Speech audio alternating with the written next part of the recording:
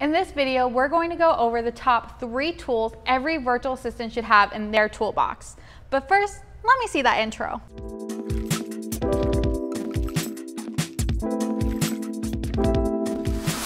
So if you haven't noticed, the world is pivoting and remote work is in. I'm talking about all the must-have tools for all VAs. Apart from the skills and personality, one factor that adds up to a VA success is the tools they use to make their work more efficient. Tools are greatly used for businesses, especially as more companies are going virtual and hiring remote workers. Having a basic understanding of some of the software that is used in the industry will keep you highly desirable. Some overall important software types that almost every VA, no matter the niche, will encounter are time tracking, and popular ones that I've used, Marketer Magic and Toggl. Next is payment gateways. Think PayPal, Stripe, or Honeybook. Communication platforms such as Slack or Voxer, online meeting software like Skype or Zoom, project management tools like ClickUp or Trello, and file sharing, storage, social media scheduling. All right, guys, that was a mouthful and I totally get it. So if you're a little lost, don't worry about it. I'm really gonna talk about just the important ones that you need to know so you can become a profitable virtual assistant. Everything else can come with time. None of this is a requirement, but I am gonna be completely transparent with you all. You need to know payment gateways.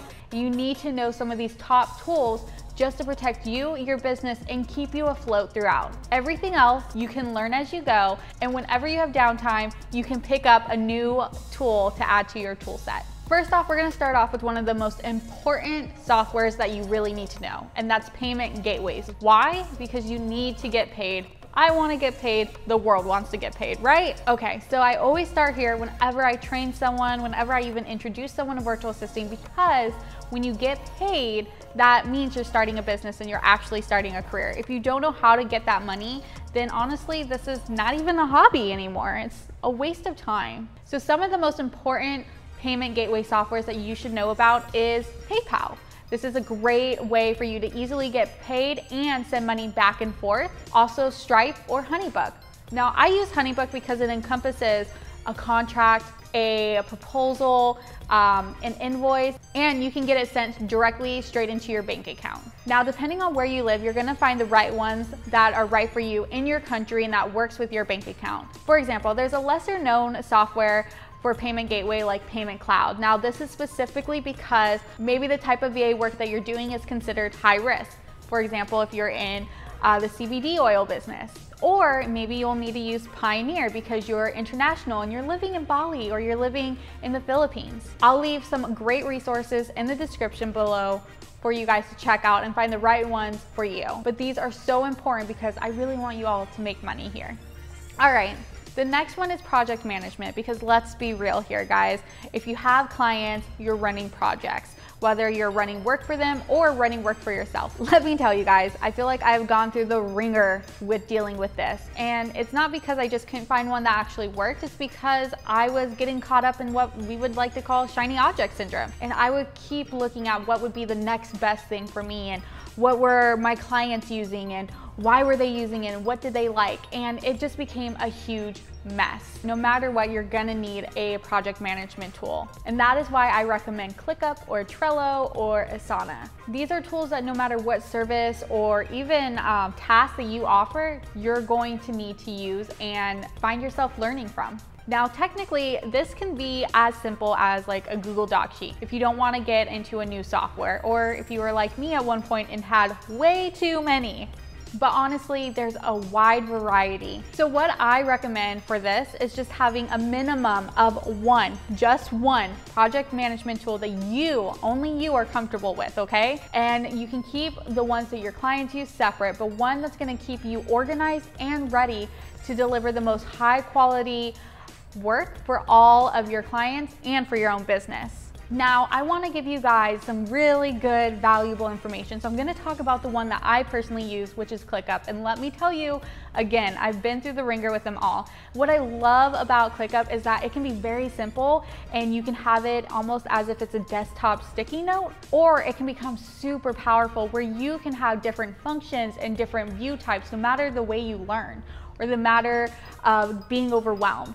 For me, for example, I love checklists. I am a checklist girl, and if you go into my office, I probably have about four to five spread out. But what's so great about ClickUp is that my team doesn't always learn from that style. So they can easily move it into different viewpoints for them without changing all of the information that's already inputted in there. Now ClickUp does have a free version, but for the unlimited access and for all of those amazing features, I definitely recommend getting the paid version. And it really isn't that expensive. It's $5 per month per user, which that's a Starbucks a day, guys. So remember, quality of work so then you can go out and buy more Starbucks later down the road. Now, I wanna give you a free option, of course, and something that I got started with and probably used about a year into my business was Trello. Trello is super amazing if you are very visual and if you're in that creative aspect. I started using Trello with some of my first clients and let me tell you, it was as if I was looking at my sticky notes. What's so great is it's an easy drag and drop and they do have some amazing free features like a calendar view if you love to integrate it with your Google Calendar or even if you're an iCloud user. So you can always know where and when you need to be and what Zoom calls you should probably be on. Of course, some other ones that I did enjoy using that didn't fully work out with me was Basecamp and Monday.com and even Asana. There's no right or wrong answer when it comes to project management tools. It's all about comfortability and how you learn best. So definitely something that I recommend is go and sign up for the free trial for all of them play around, watch some YouTube videos just like this one, and get to know the software. What's even great is that once you do something like that, if you do run into a client that has a different software type than you for project management, you've probably already played around with it. And that means you already have experience with using the software, which makes you a more highly desirable choice to go with. So it's a win-win situation here. And my third of the top of the list is communication applications, because honestly, communication is vital. I want you to say it with me because it's so important. Communication is vital for you and your business. Your freelancing career, your business, your anything will live or die by communication. Let's be real though. How often do we communicate with our friends, our family? Now put that on steroids because that's how often you should be communicating with your clients and on your projects. So there's a lot of different communication platforms out there and we've all used them from our DMs, from Instagram, Facebook Messenger, from texting, from applications like Slack, Voxer. Sticking to just one is probably going to be best so you're not trying to find tons of different messages all over the place, right? So I'm gonna give you some of my personal favorite ones. So a few of my favorite communication applications is Zoom. Why? Because you can really just get on them one-on-one -on -one and hear and show them whatever project you're working on. And it's a great way to get to really know your client as well. The second one is Voxer Slack, depending on whether you're a voice to text kind of gal or if you really like to have different channels for communication on different important subjects. Now, the reason why it's so important just to have one maybe two focal communication applications is because honestly, not sticking to just one will destroy you. When you're beginning with one or two clients, it can be kind of easy flipping back and forth from, okay, check Facebook Messenger, but maybe she sends you a text asking for an update, and then maybe, you know, random Renee over here sends you a random WhatsApp message. When you only have a few clients, you can kind of keep them in place. But when you start having three, five, seven clients, and having about seven to eight different applications, I'm gonna tell you right now, you're gonna wanna pull your hair out, and we don't want that, okay? Again, uh, what I always recommend is just playing around and finding what works best for you.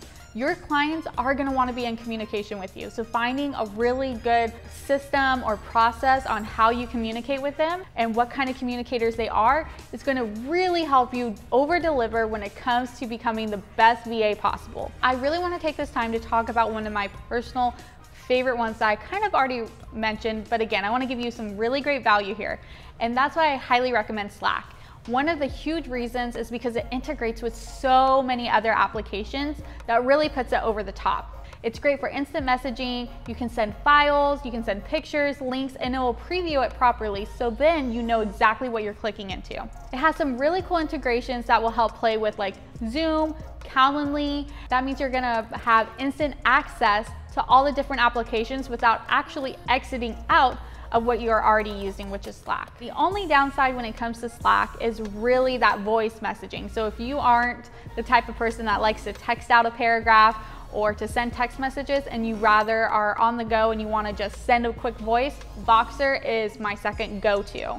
Now, Voxer doesn't have any cool integrations, but again, depending on the type of communicator you and your client are, it might be something extra to have in the back of your pocket. You guys, these are all so pivotal in today's remote work. I mean, schools are using them, Fortune 500 corporations are using them, franchises are using them, and your ideal clients are using them right now. So it's not just about knowing how to set it up and use them, but using them intentionally, right? And not getting overwhelmed and getting ahead of yourself with shiny object syndrome. And then of course, holding yourself with strong boundaries, right?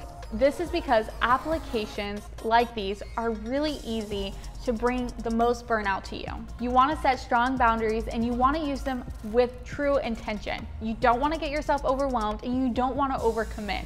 Don't look at my screen time notifications, but I can truly tell you, you can overcommit and feel so overwhelmed and stuck with these applications. Now, my biggest tip when it comes to all these tools that I just mentioned to you is by building an online virtual toolbox. By that, I mean setting up a Google Drive or a Dropbox folder. And every time you use or test a new software, all you have to do is record yourself and create an SOP, which is a standard operating procedure. Sounds crazy, but it's really not. And what I like to do is use Loom or Zoom and record myself signing up, playing around with the application, and creating a system of how I would use it for my clients. This is gonna be great because if you ever in the future have a client that maybe uses and wants you to use the application you were just playing around with, you can go back to that folder and relearn or rewatch everything that you did on it and how to use it. And let's be real guys, you're not gonna always be a solopreneur. You're gonna wanna build a team or even hire out subcontractors for your work. This is gonna be a great way to show them how to use the tools that you're using and the tools that your clients are using as well. Now you don't ever have to worry about is everyone up to date on what you know and what you've been using.